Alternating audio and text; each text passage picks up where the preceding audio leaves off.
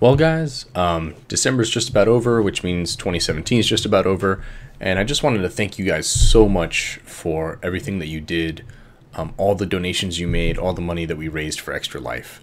Um, without you, it wouldn't have been possible. And um, the amount we've raised is incredible. Uh, we've raised uh, $557, which blows out of the water any previous donations I'd ever done, uh, raised.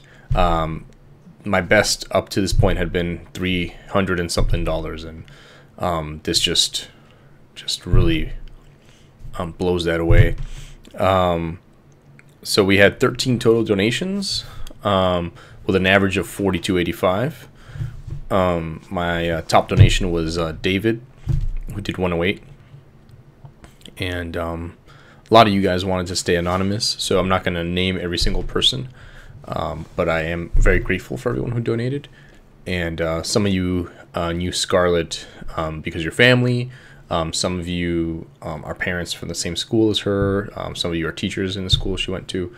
And um, I just want to thank you all. It means so much to me because Scarlett would not be here without the surgeries that she had at uh, Johns Hopkins. So thanks again. And um, you guys have really helped make a difference in the lives of um, kids everywhere, kids who really, really need it.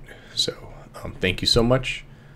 And um, have a great close to your 2017. Bye.